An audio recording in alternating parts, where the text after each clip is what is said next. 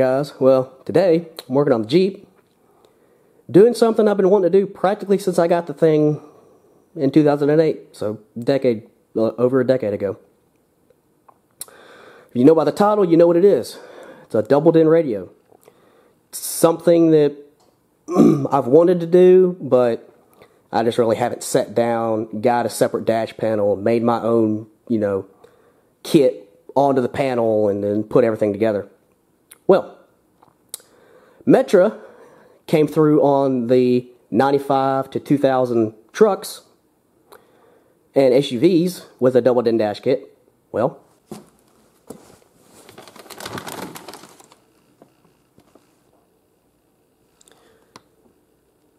they just came through on the 97 to 01 Cherokees. This kit requires you to cut into the dash like any of these conversion kits um, that didn't have double din. The Cherokee dash for the 97 to 01, pretty much any of the dash support is actually part of your heater box or your HVAC box. So they they have some aluminum tape in there for when you notch it out to cover up the uh, HVAC holes that you made uh, in the box. Uh, that might be enough. I don't know. I thought I had some extra around the house, but I couldn't find any. You might want to pick up some aluminum uh, HVAC tape. Uh, it would be in you know hardware section with the AC stuff for like the central heating air units. Um, I would pick up some of that extra just in case. so, as far as the radio, I went ahead and went back with Pioneer like I did on my Yukon.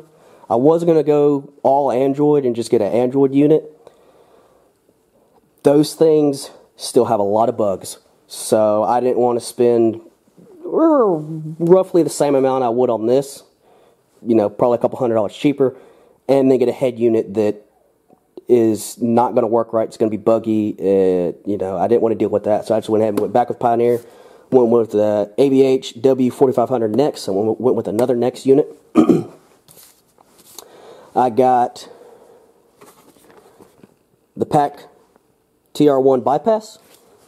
I got the Metra 70 1817, which is the uh, wiring for the vehicle. I went ahead and got uh, just a, a couple of different 90 degree USBs from Amazon because there might not be enough room behind the dash to connect the USB ports on this. Um, so I wanted to be safe and go ahead and get some 90 degree adapters. And this is backup camera stuff. That'll be in a separate video. But uh, I went ahead and got, these are two different tire carrier mounts because I got a tire carrier on the back of my Jeep. probably end up, this one includes a camera, but I'm probably going to just use this one, which is just a bracket, and then use the NVX camera. That seems to be a better solution. so, now, I'm going to go ahead and go over the wiring harness, which most of the big radio manufacturers have pretty much all gotten in line and decided on a common color code.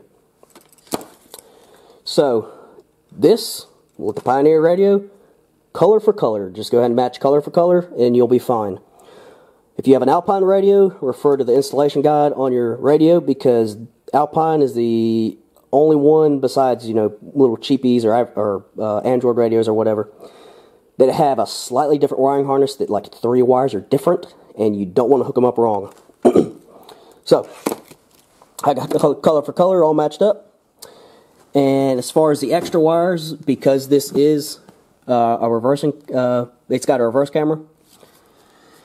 You got the purple and white, which would be tapped into your reverse uh, wire. Either go all the way back to the bulb and tap into the, the brown and uh, green wire, or I actually split open the harness at the kick panel, and I found the reverse signal wire there. That's where I tapped into it. That's going to be in another video. I'm going to show you all that. Here's the PAC bypass module.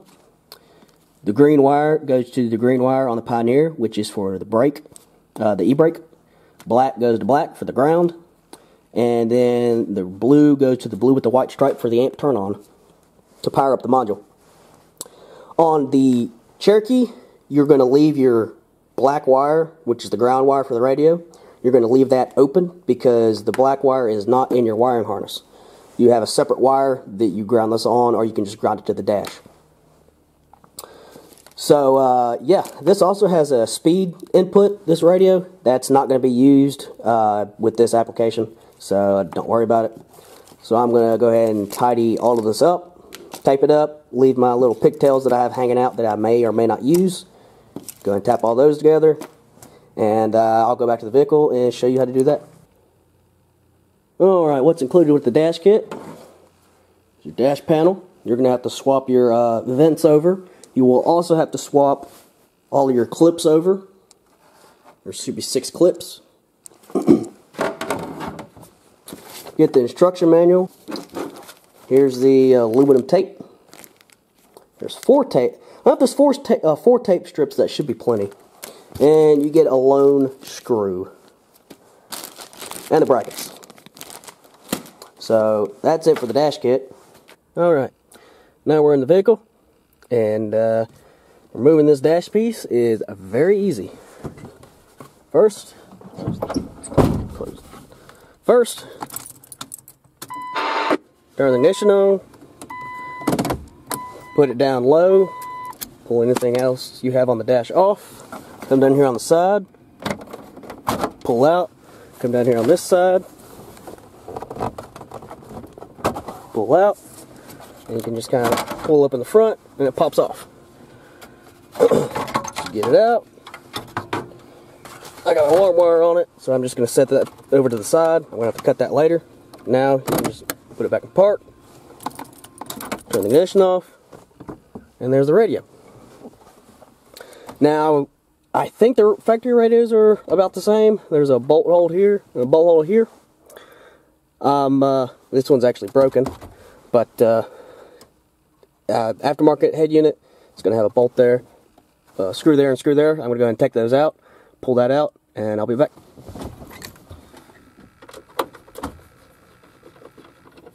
Just take the screws out. Like I said, this bottom is broken, but I still got to take it out.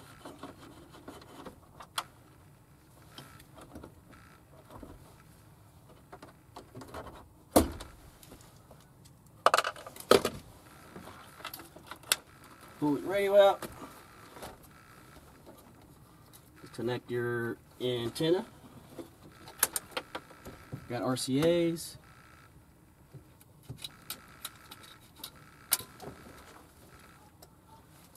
Disconnect my steering wheel. Or not steering wheel. Disconnect my mic. Connect the power, set the radio to the side.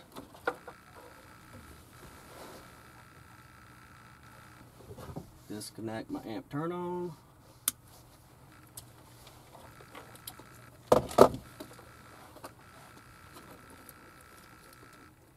Plug the harness.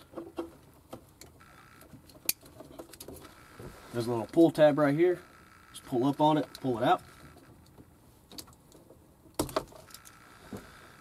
Don't know if you can see it, but here's the ground wire I was talking about. It's loose from the harness.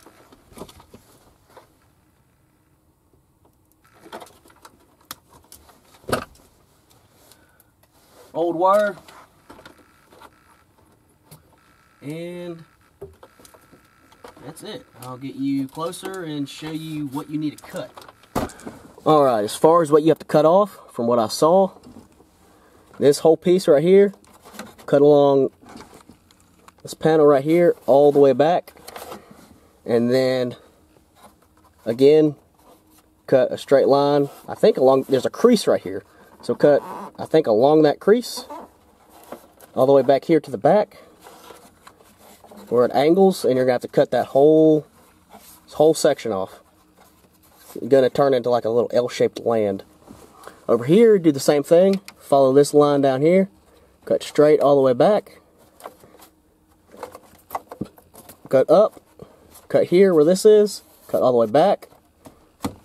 And that's it. So, uh, use your method of choice, whether it be Dremel, uh, plunge saw, or plunge tool. I wish I had a plunge tool.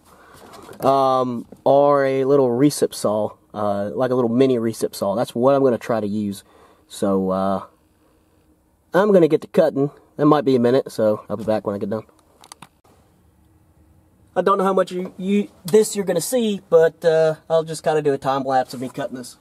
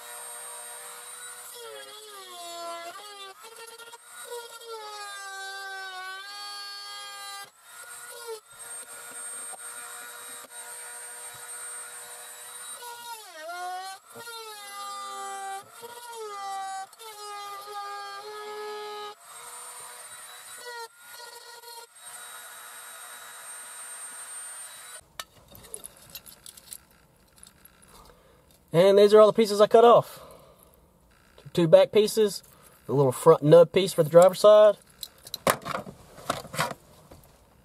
driver side long piece, passenger side long piece. Here's a closer look at what I cut. It's driver side. There's passenger side. Left a little lip right there because it looks like they didn't cut all the way over in the instructions on that side, so I left that there. On this one, they cut it flush, so I cut it flush.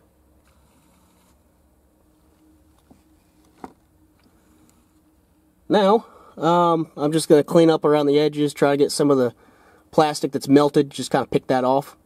And uh, I'm not going to put the tape on yet. I'm going to go ahead and get the radio, get it mounted, uh, and see if I got room. If I got room, then I'll start tidying everything up and uh, covering up those holes, and I will show you all that. But uh, yeah, I'll be back in a second. Alright, it's been a few minutes, but I finally got the radio in. Uh, the bottom mounts are going to go on the AC on both sides. This top one goes on the factory radio mount. But here on the passenger side, or driver side, you actually drill a 1 8 hole and use that single screw that's provided with the with the uh, dash kit. And that's actually how that goes in. Now, in order to get the radio to fit, in order to get the radio fit, there are two more things I had to cut off. Right there, and right there. On the driver and passenger side, there's two tabs that go down a little bit and back towards the inside of the dash on both sides. I had to go along and cut those flush in order to get the radio to fit. It would not fit otherwise. So I actually have, on the passenger side, it didn't create a hole in the dash. But on the driver's side, there's this little hole in the heater box that I'm also going to have to fill. But now the radio slides in no problem. So I'm actually going to go ahead and tape up these slots.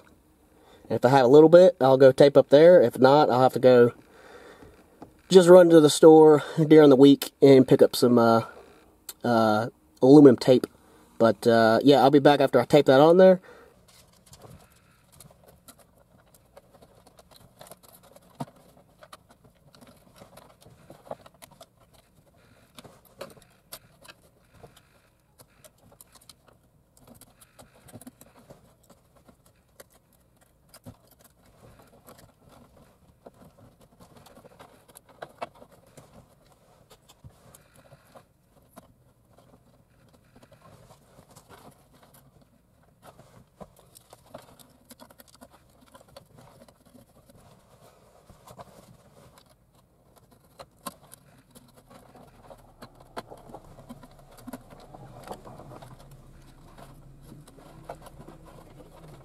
The radio in. I got the, uh, I got it uh, just sitting here. Got the tape in, which you saw some of that. Make sure before you tape it up, you actually bolt the radio in in the stock location and the two upper HVAC ports. Because I had to peel some of my tape back up on this side and make it uh, lower the piece down that goes straight back. I had to lower that down. It was too high.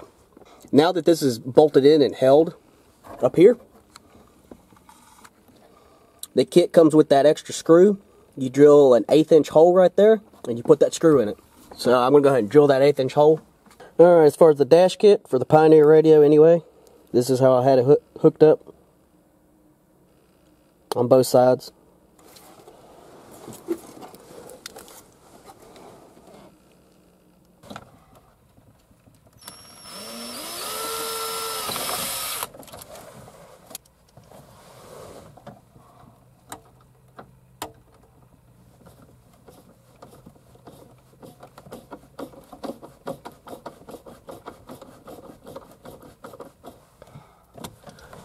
And there we go. It's on, it's tight. now I can start hooking stuff up. it's my remote wire. My ground wire is around here somewhere. There's my ground wire. Right there. Here's my microphone.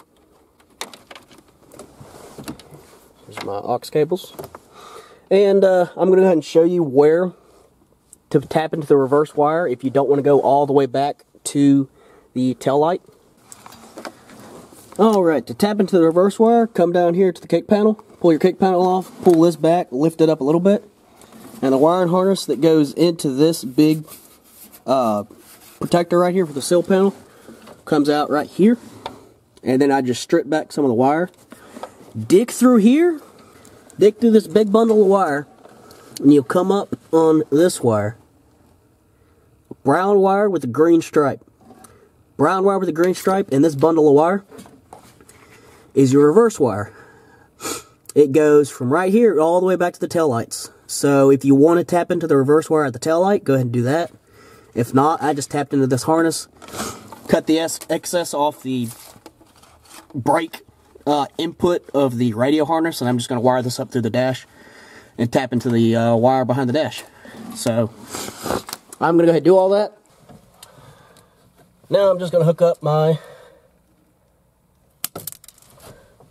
ground wire, which I don't need that long, so I already hooked them up, black to black, gray to gray.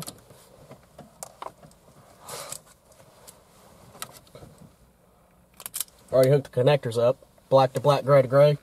Now I'm just going to connect my ground wire and my amp turn on wire and also my reverse light wire, which I have routed up along with my RCAs.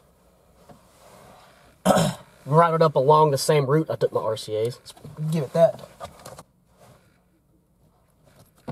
Next side. Hold this to Now, like this.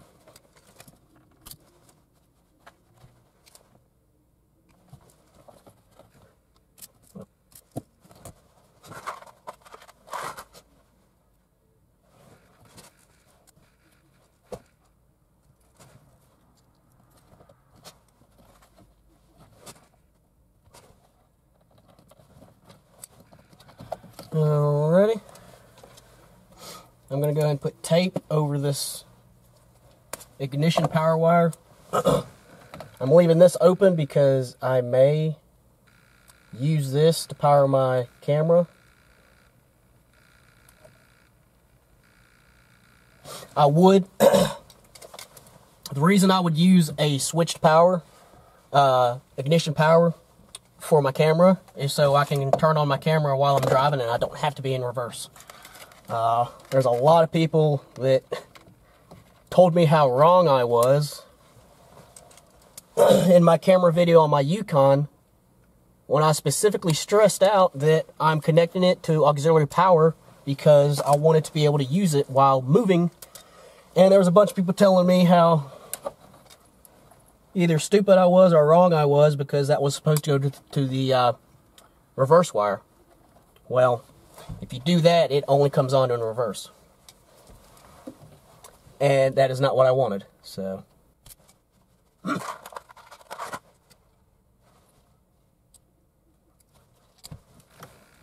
This is the reverse wire again, the purple and white wire.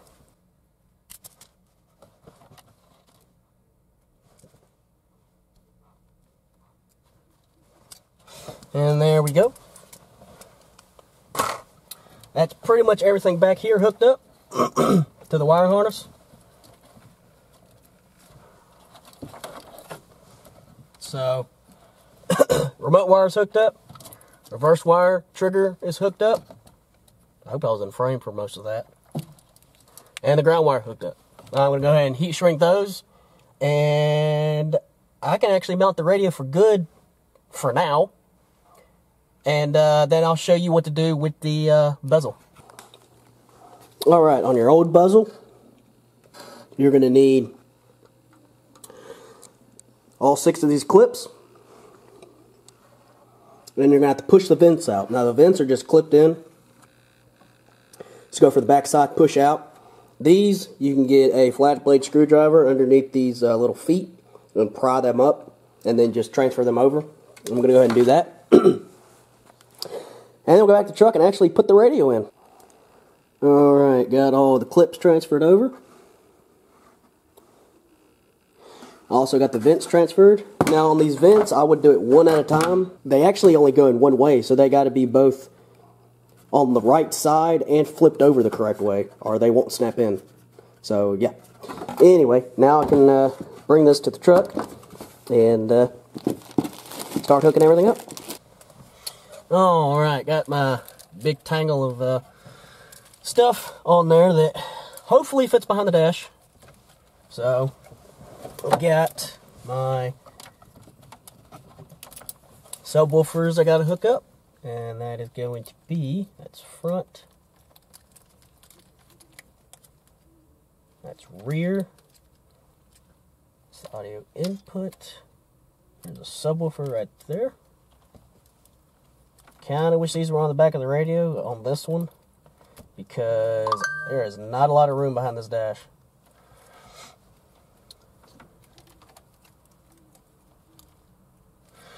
Got the mic. Alright, take two. Mic. because, funnily enough, the mics were different between the two radios. Right now, I do not have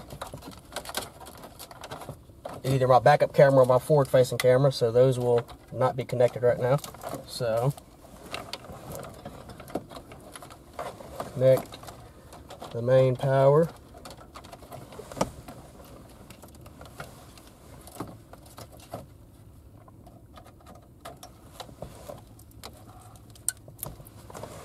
Now stuff it all behind the dash, which ought to be fun.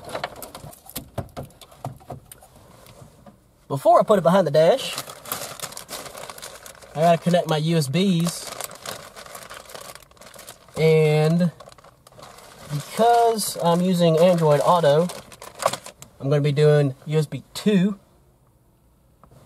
which is this one. And I am using this 90 degree bracket. Um, I don't know if I need to, but I am anyway. Then taking the extension that comes with the radio.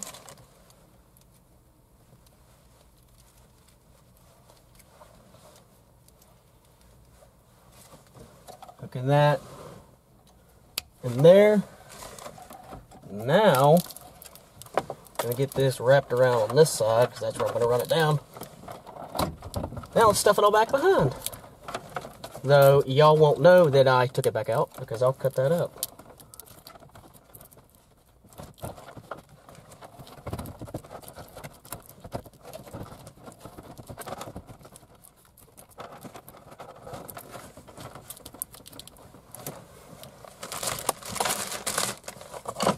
If that USB makes it thicker or if it's just hanging up on something it didn't the first time. First time it went in pretty good. Since I put that USB in there, it's a little bit meh. still all fits, but this is with this with this double DIN kit. I would probably recommend getting a digital double DIN receiver that does not have a CD player. I would have went with that option, but I wanted the more upper class radio, I guess you would say, from Pioneer. And the only ones that I saw that were straight media were the lower grade Nex radios. And I wanted the upper Nex radio. So, sacrificing case length or putting Jeopardy case length to get the higher class radio. It fits, but it's tight. I would definitely recommend getting a digital only double DIN radio. That's there. That's just, this USB is just to pop on the bottom on the passenger side. I'll run the USB cable down and it will just pop out uh, beside the glove box.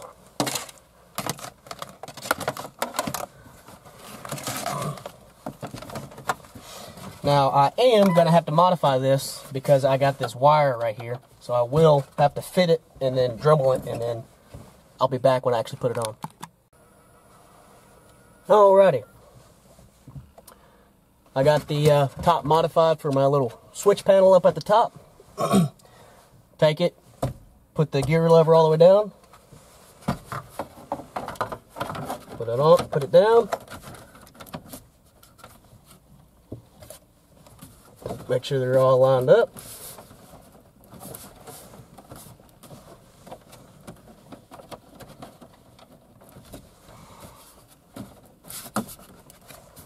Should be able to start pressing down now. That one side's in, that side's in.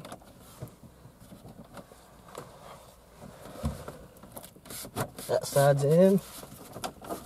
The bottom's already in, I'm pretty sure. It's a little tight. USB cable coming out the bottom. And that's it. But yeah, there it is. And uh, double DIN is installed. A dash panel is installed. I'm going to move out of the way and turn on my uh, uh, blower motor all the way. You will get crap flying out.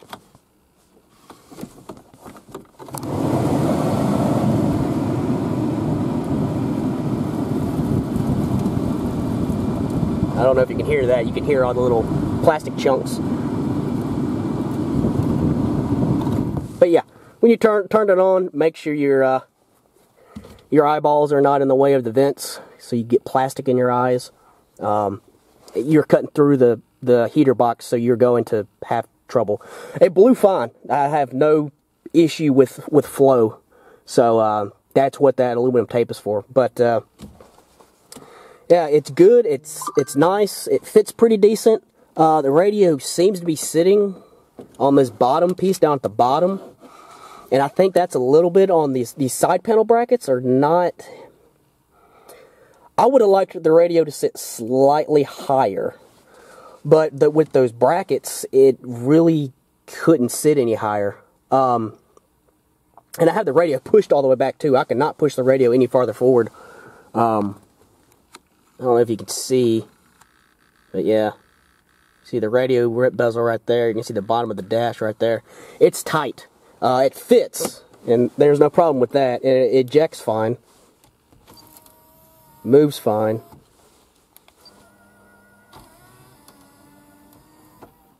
Moves fine. Uh, tilts fine.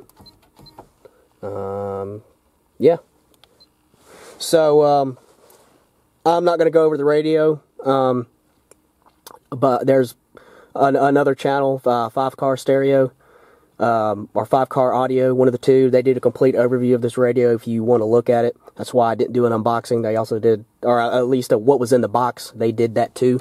This was mainly just installing the dash and installing a radio. Um, but I'm not going to go over the radio. Um, yeah, everything's good. Everything's tight. Everything's popped in. And uh, I have no complaints so far. So I will be installing a uh, camera, but that will be another day for another video. And uh, I will show installing the camera and wiring that up. But uh, yeah, I'll talk to y'all later.